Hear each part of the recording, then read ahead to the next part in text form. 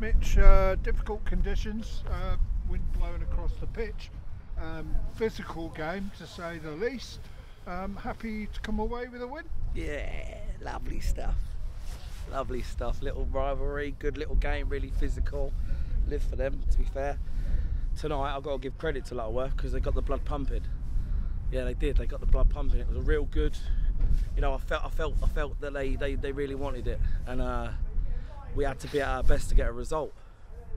Physically, mentally, you know, tough pitch. All due respect, Josh does a lot here. Got to give him a lot of credit. Done wonders for the club.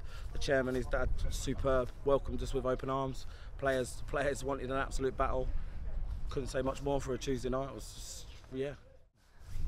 Chance wise, we are far superior with the, the amount of chances we had, and I guess on that side of it, maybe a little disappointed not to come away with four.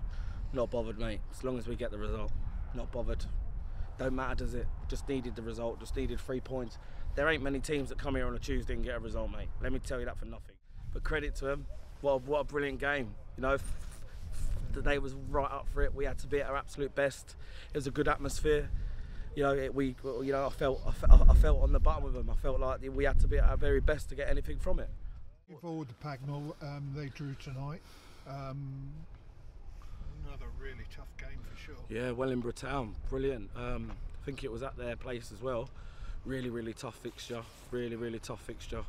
Um, but again, one we're looking forward to. They're doing really well in the bars, and I think uh, I think they're um, that'll be a, a tough game. We've got to be at our very best to get anything from it.